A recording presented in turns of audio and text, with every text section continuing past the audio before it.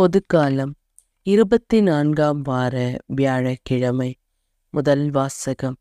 நான் உங்களுக்கு அறிவித்த நற்செய்தியை நீங்கள் உறுதியாக பற்றிக் கொண்டிருந்தால் அதன் வழியாக மீட்பு அடைவீர்கள்.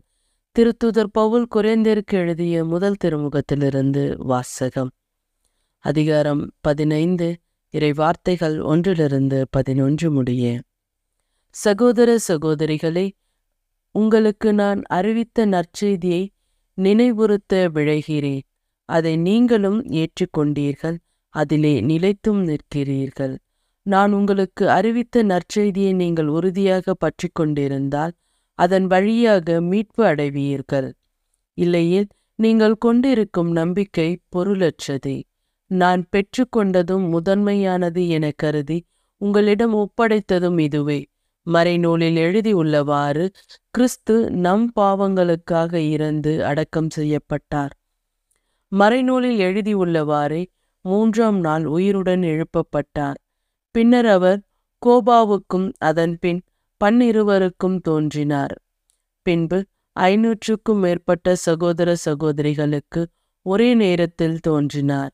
அவர்களுள் பலர் இன்னமும் உயிரோடு இருக்கின்றனர். சிலர் இறந்துவிட்டனர். பிறகு யாப்போ யாக்கோப்புக்கும் அதன்பின் திருத்தூதர் அனைவருக்கும் தோன்றினார். எல்லோருக்கும் கடைசியில் காலம் தப்பி பிறந்த குழந்தை போன்று எனக்கும் தோன்றினார். நான் திருத்தூதர்களிடையே மிக கடையவன். திருத்தூதர் என அழைக்கப் பெற தகுதியற்றவன். ஏனெனில் கடவுளின் திருச்சபையை துன்புறுத்தினேன். ஆனால் இப்பொழுது நான் இந்த நிலையில் இருப்பது கடவுளின் அருளால்தான் அவர் எனக்கு அளித்த அருள் வீணாகி விடவில்லை திருத்தூதர்கள் எல்லோரையும் விட நான் மிகுதியாக பாடுபட்டு உழைத்தேன். உண்மையில் நானாக உழைக்கவில்லை. என்னோடு இருக்கும் கடவுளின் அருளை அவ்வாறு உழைக்க செய்தது. நானோ மற்ற திருத்தூதர்களோ யாராயிருந்தாலும் இதையே பறைசாற்றுகிறோம். நீங்களும் இதையே நம்பினீர்கள். இது ஆண்டவரின் அருள்வாக்கு. இறைவா உமக்கு நன்றி. நற்செய்தி வாசகம். இவர் செய்த பல பாவங்கள் மன்னிக்கப்பட்டன. ஏனெனில் இவர் மிகுதியாக அன்பு கூர்ந்தார்.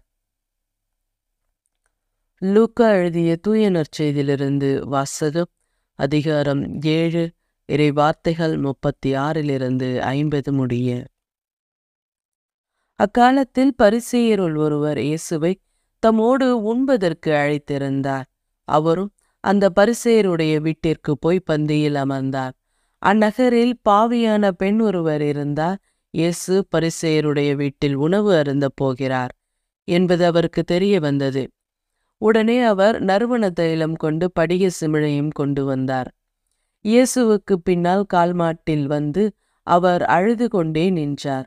அவருடைய காலடைகளை தம் கண்ணீரால் நனைத்து தம் கூந்தலால் துடைத்து தொடர்ந்து முத்தமிட்டு அக்காலடிகளில் நறுமண தைலம் பூசினார்.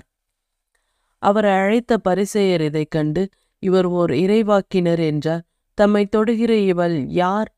எத்தகையவள்? என்று அறிந்திருப்பார். இவள் பாவியாயிற்றே என்று தமக்குள்ளே சொல்லிக் கொண்டார். இயேசு அவரை பார்த்து சீமோனி நான் உமக்கு ஒன்று சொல்ல வேண்டும் என்றார். அதற்கு அவர் போதகரே சொல்லும் என்றார்.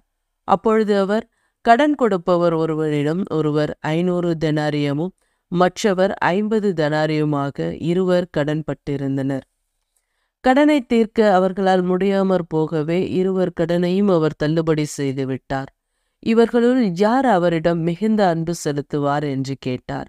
சீமோன் மறுமொழியாக அதிக கடனை யாருக்கு தள்ளுபடி செய்தாரோ அவரே என எண்ணுகிறேன் என்றார். எஸ் அவரிடம் நீர் சொன்னது சரியே என்றார். பின்பு அப்பெண்ணின் பக்கம் அவர் திரும்பி சீமோனிடம் இவரை பார்த்தீரா?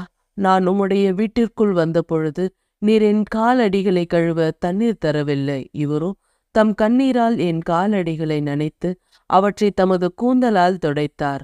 நீர் எனக்கு முத்தம் கொடுக்கவில்லை. இவரோ நான் உள்ளே வந்தது முதல் என் காலடிகளில் ஓயாமல் முத்தமிட்டு கொண்டே இருக்கிறார். நீர் எனது தலையில் எண்ணெய் பூசவில்லை. இவரோ என் காலடியில் நறுமண தைலம் பூசினார். ஆகவே நான் உமக்கு சொல்லுகிறேன் இவர் செய்த பல பாவங்கள் மன்னிக்கப்பட்டன. ஏனெனில் இவர் மிகுதியாக அன்பு கூர்ந்தார். குறைவாக மன்னிப்பு பெறுவோர் குறைவாக அன்பு செலுத்துவோர் ஆவார் என்றார். பின்பு அப்பெண்ணை பார்த்து உம் பாவங்கள் மன்னிக்கப்பட்டன என்றார். பாவங்களை மன்னிக்க இவர் யார்? என்று அவரோடு பந்தியில் அமர்ந்திருந்தவர்கள் தங்களுக்குள் சொல்லிக் கொண்டார்கள். இயேசு அப்பெண்ணை நோக்கி உமது நம்பிக்கை உம்மை மீட்டது. அமைதியுடன் செல்லுக என்றார். இது ஆண்டவரின் அருள்வாக்கு கிறிஸ்துவே உமக்கு புகழ்.